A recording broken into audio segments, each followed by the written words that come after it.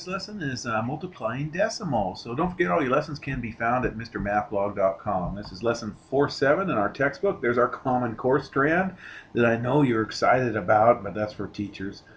Uh, and then our question is here, what strategies can we use to place um, uh, a decimal in a product? So I'm going to show you a couple of them in here. So, so we can uh, uh, use what we have learned about patterns and place value to place the decimal point in the product when we multiply two numbers. So for example, 1 times anything equals itself, so 1 times 0.1 uh, equals just 0.1 right there. But what if we multiply 0.1 times 0.1? It equals 0.01. So what happens when we multiply it by another decimal, it takes this decimal and moves it one place to the left right there, okay? If we did 0.01 times 0.1, then it's going to take this decimal and move it over, since there's two spaces right there, we're going to move it over two spaces. So one, and then we'll have to do another one, two, and it creates a little blank spot. So it was right here, so one, two, and we have to add another zero right there. Okay, so just remember, you guys, when a number is multiplied by a decimal, the decimal moves one place to the left if the product for each decreasing place value be, uh, being multiplied. So what I like to do is just count the decimals, you guys. You know, if it's um, if it's uh, uh, here is two decimals, here's one more decimal, it's three decimals over. So if we started right here because it was 1, just multiply 1 times 1 and then move it three places over. 1, 2, 3, and it gives you 0.01. This is 0.1 times 1, so 1 times 1 is 1, so this is one decimal, this is one decimal, so that if it starts right here, move it two places. So we'll have a couple examples coming up here, you guys. So here we go. Neil runs a half marathon in 2.8 hours. Martha takes 1.5 times as long. How many hours does it take Martha to run a half marathon? So here we're going to multiply 1.5 times 2.8. So we'll just go ahead and multiply as whole numbers. So let's just pretend like there's no decimals right here. So 28 times 15, okay? And then we'll move the decimals over later. Okay, so here we go. Multiplying this 5 through, so 5 times 8 is 40. So there's my 4, and there's the 0 with the 40. And then 5 times 2 is 10, plus the carryover 4 is 14 right there. Now let's multiply the 1, but we have to carry the 0 down because this is the tens. We're in the tens value, so there's the 0 for the 10, okay? 1 times 8 is 8, so we'll put an 8 here, and then 1 times 2 is 2, so this is going to be 2, 8, so 28 with a 0 right there. All right, let's add those up. We get 420. Okay, now Let's place the decimal point back in the picture. So think tenths are being multiplied by tenths, okay? This is one decimal over, this is one and five tenths, this is two and eight tenths. So we're multiplying tenths by tenths, so we're going to use the pattern of 0.1 times 0.1. This is one tenth, and this is one tenth. Well, remember the patterns that we just discussed right here.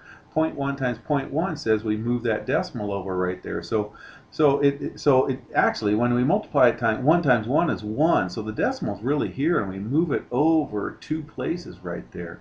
Okay, so we just since it's 0.1, we just take this decimal and moved it over one more place right here. So what we're going to do is take this answer where the decimal is right here, and we're going to move it two places over. Okay, because we moved it, so we're going to change the the 28 to 2.8 by multiplying it by 0.1 and 15 to 1.5 by multiplying it by 0.1. Well, 0.1 times 0.1 is 0.01, so we're going to multiply this 420 times 0.01, and that's just going to get us, uh, move the decimal over two places. So if we go over 1, 2, it's going to get us 4.20.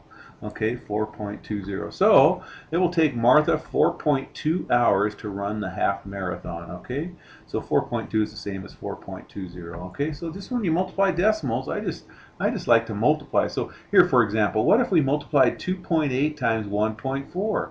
What would the place value of the product be? Okay, so, well, this is two decimals over. This is one more, so it's going to be three decimals over. So from here, you guys, when we multiplied two decimals times a one decimal, it took us three over right there. I know this little arrow only shows two jumps, but it's because it started right there.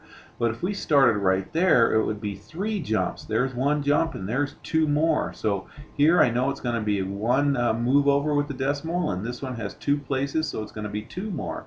So 2.8 has one decimal, 1.74 has two decimals more, so it would move over the 1 plus 2, which is three places to the left, and three places to the left, this is in the thousandths spot. Remember, this is tenths, hundreds, thousands, so it would take us to the thousand spot. Okay, so two decimals there, one decimal there. It's going to move us over three decimals to the left, so that would be in the thousand spot. All right, here's a different way, you guys. We can use an estimate to place the decimal point in the product. So let's think about multiplying 7.9 times 4.13. All right, let's estimate this first, you guys. Let's round these guys to the nearest whole number. This rounds to 8, and this rounds to 4 right here. So we'll just put them in our head, 8 and 4. 8 times 4 is equal to 32. So this is going to give us an answer somewhere close to 32. So let's just now go ahead and multiply without the decimals. 413 times 79. Okay, so here goes the 9 right there. And then we're going to multiply the 7 through, so we got to carry the 0 because it's in the 10 spot. So there's the 7 getting multiplied through. Now we're going to add up the partial products right there, and we get uh, 32627. Okay, so the next step is to then use our estimate. Remember, our estimate is 32 to place the decimal point. Well, where's the decimal point going to go here to make it close to 32? Not there, not there, right there. So that would be 32.627. That would make it close enough to it right there. So 7.9 times 4.13 would come to 32.627 okay? A couple of methods you saw there. So both are great you guys. Hey if you can would you guys click like on this video? Thanks a lot. Hope you're having a great year. Take care you guys